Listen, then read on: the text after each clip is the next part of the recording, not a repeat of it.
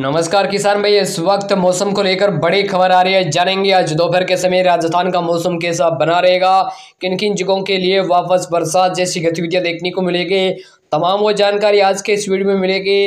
राजस्थान का मौसम कैसा रहेगा? साथ ही बंगाल की खाड़ी से उठा तूफ़ान दानक नाम का प्रभाव किस प्रकार बना रहेगा? इस वक्त प्रदेश भर के मौसम को लेकर बड़ी अपडेट आ चुकी है। लगातार वीडियो को देखता रहना। आपसे हमसे बार बार यही रिक्वेस्ट कर रहे हैं कि तमाम जानकारी आज के इस वीडियो में दी जाएगी। किन किन जगहों के लिए आगे का मौसम कैसा रहेगा? तमाम वो जानकारी आज के इस वीडियो में दी जाएगी।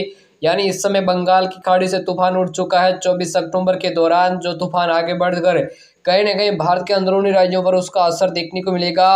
तो आपसे हम रिक्वेस्ट करना चाहते हैं बार बार कि आप वीडियो को ज़रूर लाइक कर लेना। साथ ही साथ चैनल पर पहली बार आए तो चैनल को सब्सक्राइब कर रखें। वीडियो अच्छा लगा तो वीडियो को ज़रूर लाइक कर लेना।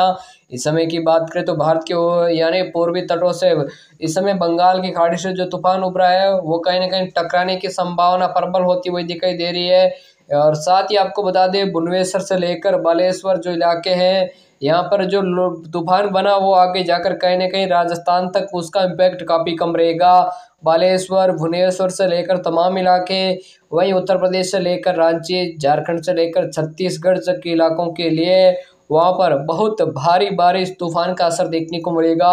इस समय तूफ़ान को लेकर बड़ी अपडेट आ चुकी है। आपसे हम रिक्वेस्ट करना चाहते हैं कि आप वीडियो को एंड तक ज़रूर देखना। तूफ़ान भारत के तटों को काफ़ी ज़्यादा प्रभावित करने की संभावना रहेगी। विशेष तौर पर उत्तर प्रदेश के पूर्वी इलाके, बिहार के इलाके, यानी आने वाले दिनों के दौरान इन क्षेत्रों के लिए बहुत भारी बारिश होगी पच्चीस से लेकर छब्बीस अक्टूबर के आसपास।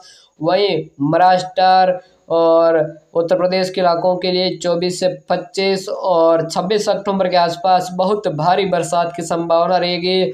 बाकी राजस्थान इलाकों की बात करें तो उत्तर और पश्चिमी दिशा से हवा चलती रहेगी। तमाम जिलों का मौसम लगभग साफ़, शुष्क बना रहेगा। हालाँकि आज दोपहर के समय बांसवाड़ा और कोटा संभाग एक दो स्थानों के लिए बादलों की जो रहेगी। बाकी ज़्यादातर इलाके मौसम शुष्क रहेगा। उत्तर दिशा से हवा का प्रभाव रहेगा। लगभग अधिकतर भाग मौसम का शुष्क बने रहने की संभावना रहेगी। साथ ही आगे चलकर तूफ़ान किस तरफ़ आगे बढ़ेगा? तो इसके बारे में आगे बात कर ले तो तूफ़ान उत्तर व दक्षिणी दिशा की ओर आगे बढ़ेगा, जिसे भारत के अंदरूनी यानी दक्षिणी राज्यों के इलाके तेलंगाना से लेकर उन तमिलनाडु के इलाके, मुंबई, पश्चिमी घाट तक आने वाले दिनों के दौरान बरसात की गतिविधियाँ आपको ज़रूर देखने को मिलेगी। अगला डब्ल्यूडी जल्द आने की संभावना बनती हुई दिखाई दे रही है। उसके बारे में भी आपको जानकारी मिलेगी। साथ ही आज शाम को मैं वीडियो डालूँगा पच्चीस अक्टूबर के बारे में, मौसम के बारे में, कैसा रहेगा मौसम 25 अक्टूबर के दौरान किन किन जगहों के लिए बादलों की आवाजाही देखी जाएगी कहाँ कहाँ बरसात जैसी गतिविधियाँ रहेगी, तमाम वो जानकारी आज शाम के वीडियो में मिलेगी। आपसे हम रिक्वेस्ट करना चाहते हैं बार बार कि आज शाम को वीडियो को ज़रूर आप देखना। तो ज़्यादा जानकारी के लिए चैनल के साथ जुड़े रहे। हर मौसम की जानकारी इसी तरह मैं देता रहूँगा। धन्यवाद।